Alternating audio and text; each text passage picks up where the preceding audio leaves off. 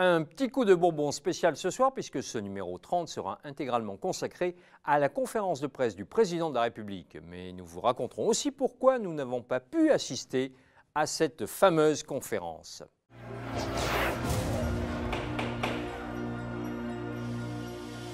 Lâchez juste ce qu'il faut pour sauver tout le reste.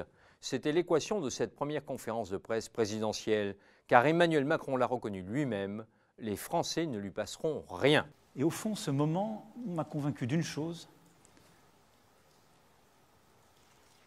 c'est que je n'aurai pas de répit. De fait, le président a lâché des miettes. Il est prêt à envisager de sursoir à la suppression de 120 000 fonctionnaires. Il veut bien simplifier le référendum d'initiative partagée en abaissant à 1 million le seuil de signature des citoyens. Il réindexera toutes les retraites en 2021. La CAF pourra prélever les pensions alimentaires impayées directement sur le compte des conjoints défaillants. Mais pour tout le reste, c'est non. Le référendum d'initiative citoyenne Tel qu'il est proposé, il me semble remettre en cause la démocratie représentative. La reconnaissance du vote blanc qui ramènerait vers les bureaux de vote les électeurs insatisfaits par l'offre politique Et à juste titre, les gens qui votent blanc nous disent je, je veux être entendu, je veux que ce soit pris en compte. Est-ce qu'il faut lui donner une reconnaissance particulière? J'ai un moment été tenté par cette option, j'y ai beaucoup réfléchi et je ne la retiendrai pas. Je ne la retiendrai pas parce que, au fond, la crise de nos démocraties est aussi une crise d'efficacité et de capacité à prendre les décisions. Alors on peut avoir des projets dont aucun ne nous plaît totalement à une élection. Mais on doit choisir, parfois le moindre mal ou le mieux possible. Le rétablissement de l'ISF Je veux d'abord dire que cette réforme n'a pas été la suppression de l'impôt sur la fortune. Elle a conduit à créer un impôt sur le patrimoine immobilier qui continue au même taux à taxer les détentions immobilières de nos concitoyens, mais elle a supprimé la partie du patrimoine qui était investie dans l'économie. Pour faire quoi? Pour encourager l'investissement en direction de l'économie réelle, de la, de la, recherche, des usines, de la production? Parce que s'il n'y a pas d'investissement national, il n'y a pas d'économie, ou alors il y a une économie qui se vend aux investisseurs étrangers. Et notre pays y est ô combien sensible? Cette partie de la réforme, je juge de mon devoir de la défendre. Voilà pour le concret.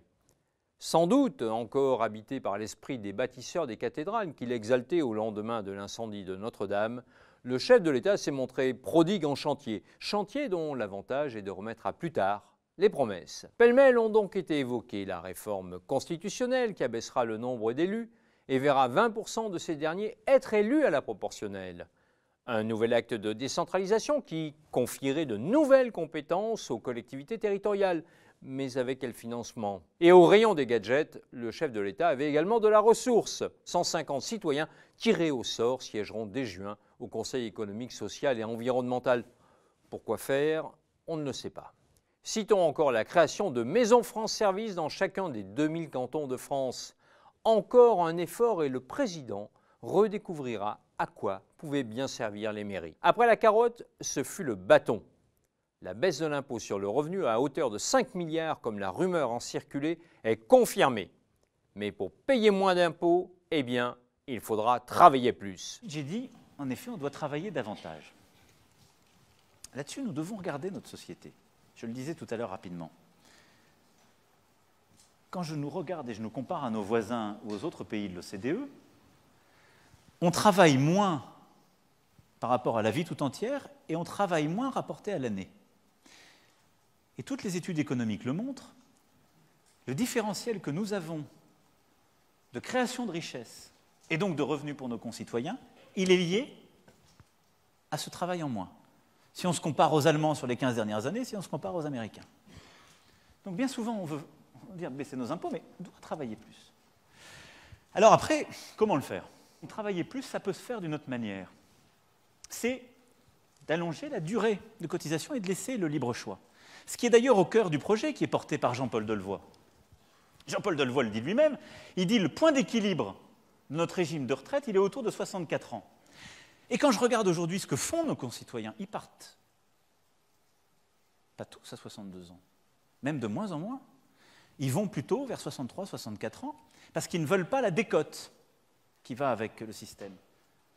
Et donc, ce sur quoi peut travailler le gouvernement avec le Parlement, c'est de regarder si on peut allonger la période de référence sans bouger l'âge légal, pour avoir un système de décote qui incite à travailler davantage, mais sans forcer tout le monde. Il sera toujours possible de partir à 62 ans, mais avec une décote accrue puisque le grand projet, c'est d'allonger la période qui permet de partir avec une retraite à taux plein.